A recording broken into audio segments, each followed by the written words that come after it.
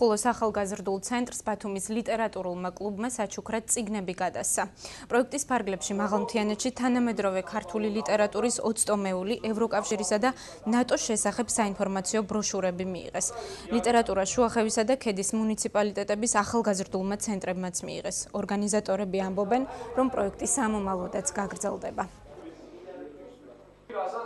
ლიტერატურული კლუბის სახელით დღეს ხულოს შუახევისა და ქედის ახალგაზრდობის ცენტრებს გადაეცემათ თანამედროვე ქართული ლიტერატურის 20 ტომეული და ეს საშუალებას მისცემს ახალგაზრდებს წაიკითხონ ის ლიტერატურა რომელიც მათი სკოლის ბიბლიოთეკაში არ მოიპოვება. დიდი ხანი არსებობს უკვე ახალგაზრდობის ცენტრი ხულოში და იმსახურება ყველა ახალგაზრდის უნარ-თვისებების გამოვლინებაში განხორციელებულია სხვადასხვა პროექტები რომლებშიც მონაწილეობას ღებულობდნენ სხვადასხვა სოფლიდან ახალგაზრდები და ეხლა შემოემატა ჩვენს ახალგაზრდულ ცენტრს ლიტერატურული სფერო რომელიც ფიქრობ აქტიურად ჩაერთვებია ყველა ახალგაზრდა